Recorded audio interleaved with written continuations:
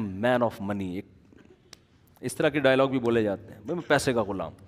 मुसलमान क्या करता है? इधर जेब में पैसा आया, उसको समझ में नहीं आ रहा तो खिलाए किसको वो बैठ के। वो मदरसों में खर्च करता है, वो मस्जिदों में खर्च करता है, वो बीवी बच्चों पे खर्च करता है, वो सांस पे खर्च करता है, ठीक है ना? वो सुसर पे खर्च करता है। बस इतना वो एहतियात करता है कि कल किसी और के सामने भीख मांगनी ना पड़े। जब उससे पूछा जाता है, यार तुम क्या, यार तुमने सारे महल्ले का ठेका लिया हुआ है? तो कहते हैं, खिलाने वाला कौन है भाई? अल्लाह। तो फिर लोग कहते हैं, वो आदमी तो सखीता गरीब हो गया। तो ये मुतासर नहीं होता ऐसी बातों से। कह रहे, भाई गुरबत अमीरी अल्लाह के हाथ में, अगर अल्लाह की मर्ज़ी से हो गया तो इसी में खैर होगी इन वो क्या कहता है, भाई हो गया तो इसी में खैर होगी तो अल्लाह की मर्ज़ी यही होगी। लेकिन ऐसा होता आमतौर पर है नहीं। उसके साथ हो गया तो अल्लाह की मर्ज़ी होगी। और पतली गली से ये कह के निकल लेता है। और जो लिबरल लोग हैं ना जो मज़हब को नहीं मानते कैलकुलेशन टेंशन इतने, इतनी दौलतें लोगों ने इकट्ठी की हुई हैं, इतनी इतनी दौलतें और फिर मेरे, यानी वाक़ात आते हैं ना, यार, तुम्हारे एक करोड़ डूब गया तो तुम टेंशन में किस बात, तुम्हारे पास बीस करोड़ रखे हुए हैं? क्या हो गया? एक करोड़ डूब गया तो नाश्ता तो कर रहे हो ना, पराठे तो खा रहे हो उसी तरीके से। दोपहर खाना भी खा रहे हो, रात खाना भी खा रहे हो तो भट्टे कट्टे फिटफाट तो डूबने से कोई कोई कुछ कमी तो नहीं आ रही ना बॉडी में? वैसे ही फिटफाट, माशाल्लाह।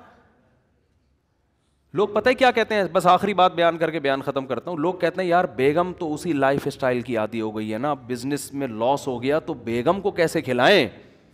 ये बहुत बड़ा मसला है मैरिड आदमी के लिए, कि कारोबार में लॉस हो गया है, हमारा अब लाइफ स्टाइल को अब थोड़ा सा नीचे आ गया।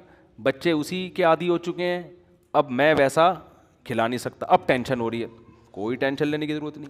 बेगम साहब को बता दें, बेगम साहब आप मैं ये खिला सकता हूँ। आपने रहना है, रहें। नहीं तो पतली गली से भाई, अब मैं चोरी तो नहीं करूँगा ना। रिस्क किसके हाथ में? अल्लाह के हाथ मेरी जो मेहनत है, वो मैं कर रहा हूँ। भाई, मुझसे जो हो सक रहा है वो मैं नहीं कर रहा होता। फिर ताने भी बनते हैं, फिर खुला भी बनता है, फिर तलाक भी बनती है, फिर चित्रौल भी बनते हैं। सब कुछ बनता है, सालों से पिटवाना भी बनता है। लेकिन मेरे बस में नहीं है रिस, अल्लाह के हाथ में है। तो ये है तो मैं भी सूखी रोटी खा रहा हूँ और हमारे नबी भी जो है ना नफाका होता था तो हम भी फाका, आज पीर के दिन ने रोज़ा रखते हैं। तो ये तुम भी शहरी में दो पापे खा लेना, मैं भी खा लूँगा। या तो मैं बाहर पैसे खा खा के बाहर जो है ना, मैं लग्जरी लाइफ गुजार रहा होता, घर में तो मैं फाकों में रखा होता, फिर तो बात है। लेकिन जब ये, इससे ज़्यादा मेरे बस में नहीं है। अब क्या होता है कि बेगम जाएगी, बच्चे कहेंगे ऐसे होगा तो बोलो, भाई, मैंने अल्लाह के लिए पैदा हुआ भी बच्चों के लिए मैं पैदा हुआ ही नहीं। Both are made for for each other है ही नहीं, ये जुमला ही गलत था, ये मैंने तुम्हें सिर्फ़ पटाने के लिए कहा था शादी के मौके पे। ये पटाने के लिए कहते हैं ना we both are made for each other वो भी कहती है, वो क्या एक बड़ा अच्छा सा जुमला है। खैर, वो भी कहती है, हम भी इसीलिए बने हैं। तो बेगम वो तो पटाने के लिए बना था, लेकिन मैं अल्लाह के लिए बनाऊँ। मुझे अल्लाह को खुश करना है। अल्लाह ने कहा, इन चीज़ों में टेंशन ना लो। टेंशन सिर्फ़ आखिरत की रखो। इसके अलावा बेगम, मेरे वैसे ही सर के बाल ख़त्म हो चुके हैं। टेंशन लेने की उम्र नहीं है। जो खिला दिया, पिला दिया, उस पर अल्लाह का शुक्र अदा करो।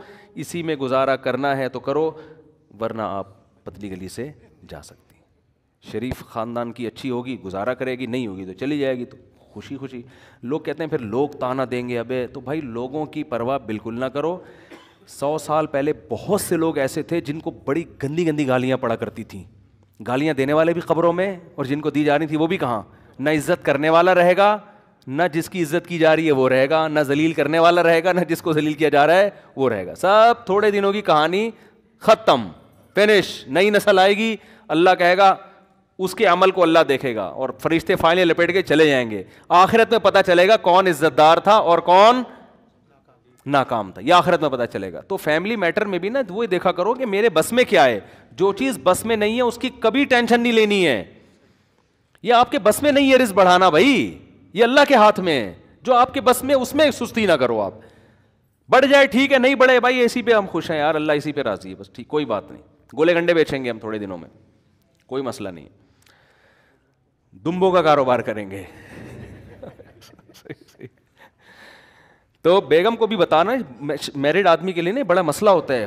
बाप से ताने मिल रहे हैं भाई कमाता क्यों नहीं है? माँ से ताने मिल, अम्मा को बता दो, अम्मा मेरे बस में यही है, मैं इससे ज़्यादा नहीं कमा सकता एक्चुअली मैं नहीं कमा सकता इससे ज़्यादा।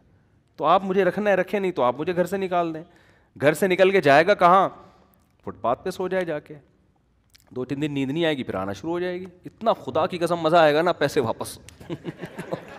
क्योंकि मकसद आखिरत है, वही है ही नहीं। और फिर जो पैसा आएगा, उसमें मज़ा भी बहुत आएगा। क्योंकि आप जहनी तौर पर तैयार हो कि अल्लाह मेरी ज़रूरत फिर दो वक्त की रोटी है। अब जो अल्लाह बंगला देगा, गाड़ियाँ देगा तो आदमी कहेगा, अल्लाह, मैं ना इसका मुस्तक हूँ, ना मुझे ज़रूरत है पुत्र खिलाया जा रहा है, खिलाया जा रहा है। और मैं ऐसे लोगों को भी जानता हूँ, अल्हम्दुलिल्लाह। एक मेरे पास आके कहते हैं, हज़रत, समझ में नहीं आ रहा, इतना पैसा आ रहा है, समझ में नहीं आ रहा, हम तो ना नेक हैं इतने, और ना जनाब, हमने कोई इतनी मेहनत की है। क्या करें? मैं कहता शुक्र अदा करो भाई, अल्लाह का और क्या करो? और नेक बनने की भी कोशिश करो अगर नहीं हो तो। है ना। शुक्र अदा करो अल्लाह का। ऐसे लोग भी हैं और ऐसे भी हैं, जितना मर्ज़ी कमा लो। हाय, पैसे ही नहीं है, हाय, खर्चे नहीं हो रहे, हाय, ये नहीं हो रहा, हाय, वो नहीं हो रहा। तो हाय हाय हाय मैं इन एक दिन जनाजा उठेगा और बिल आखिर कबर में बच्चे फेंक के आ जाएँगे। और फिर भूल जाते हैं, दो चार दिन बाद बच्चे याद नहीं रखते तो महल्ले वाले कहाँ से याद रखेंगे भाई? और याद रख भी लेंगे तो आपको उसे याद रखने का फ़ायदा क्या है? तो असल हदफ क्या है आखिरत? हज़रत हकीम हकीमुलम्मा मौलाना शरफ अली थानवी रहमहुल्लाह फरमाया करते थे कि दीनदारी का जो दर्जा अल्लाह हम सबसे चाहते हैं ना, वो ये है कि अल्लाह की रज़ा में अपने आप को इंसान फना कर दे। बस जैसा अल्लाह चाह रहा है, वैसा ही होगा। अल्लाह चाह रहा है आपको गरीब रखना, मैं इस गुर्बत पे राज़ी हूँ। अल्लाह चाह रहा अमीर रखना, मैं अमीरी पे। हज़रत हसन बड़े मालदार थे। बहुत दौलत थी। तो किसी ने उनसे कहा कि नबी सल्लल्लाहु अलैहि वसल्लम तो गरीब थे आपके नाना, आपके पास इतनी दौलत उन्होंने कहा अल्लाह अगर दौलत चाह रहा है तो मैं इस पर राज़ी हूँ। ठीक है ना?